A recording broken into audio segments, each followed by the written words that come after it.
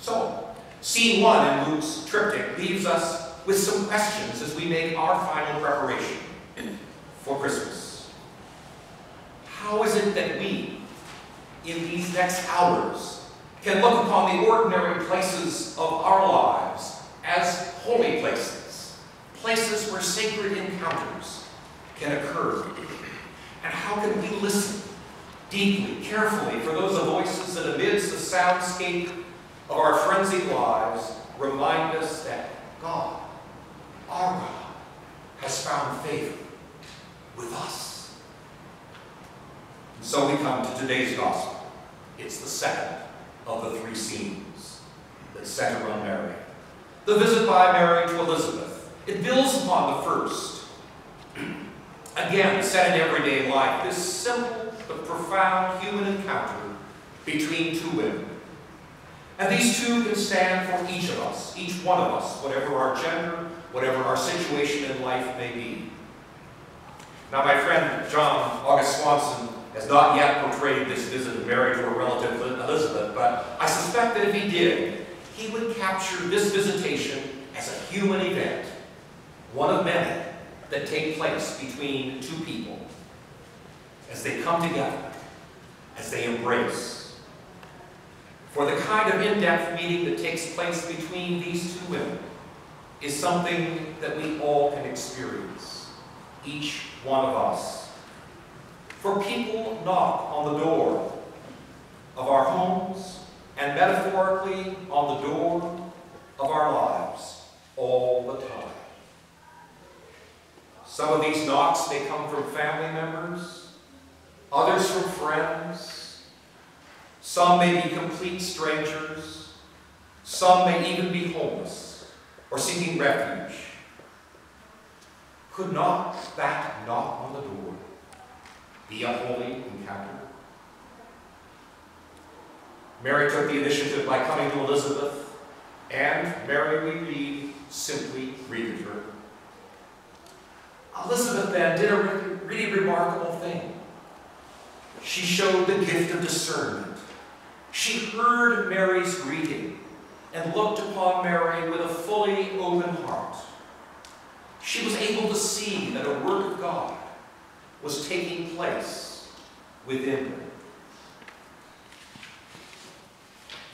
Thus she was able to exclaim in those words that are so familiar, Blessed are you among women.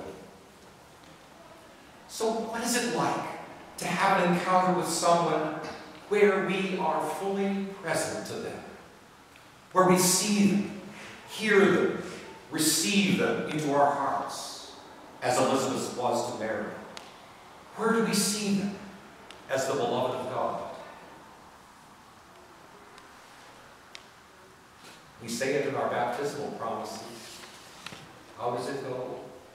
We'll seek and serve all persons, seeing them as Christ.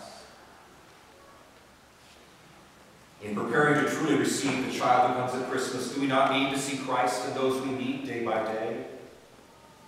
How then does this work? Perhaps it's quite simple after all. Is this not what Mary and Elizabeth showed to us? Mary took initiative. She came. She knocked at that door. Elizabeth, with openness of heart, was fully present to the one who was at the door. One of my teachers and friends is Father Gantz, a Jesuit priest. He passed along in a recent posting a practice he learned from a fellow Jesuit, Brother Alphonse uh, Rodriguez, who lived some three centuries ago. It seemed that Brother, Brother Rodriguez was for decades the porter, the keeper of the door at the Jesuit community on the island of Majorca. He was the person entrusted to answer the door when people came and knocked there. He cultivated in himself the practice of assuming that each knock was Christ at the door. By pretending that it was Christ knocking. When he opened the door, to whomever was there, their first sight was of Brother Alphonse. His face was that of a man who expected Christ set him in the person who knocked. Father Rick goes on to observe, it's a profound thing to be looked at in this way by the one who greets you. So what would it be like in these final hours of Advent to practice this same habit with those who will knock at our door? What would it be like? Just once, just twice, to receive that person as though we were receiving Jesus Christ. Father Rick goes on to observe it's a profound thing to be looked at in this way by someone who greets you. So then, how do we make our final preparation for Christmas? What do we yet need to do? I think we can make our preparation as we see the everyday arena of our lives as sacred geography, as the place where God is present. And we do so as we follow the examples of Mary taking initiative and Elizabeth being a receptive presence. And to do that in each of our daily encounters. And then perhaps we'll be able to join Mary in singing that song, that Magnificat, her revolutionary hymn of praise and proclamation about the larger truth concerning this one who is coming into the world, born among us, born to set our fractured world aright. And we ourselves will have entered then finally, at last, into that third scene, that central scene in Luke's triptych, the place where we meet the Christ of Christmas, the child who is born for us and for all humankind to set us free, free from the power of sin and death. The Advent hymn puts it like this.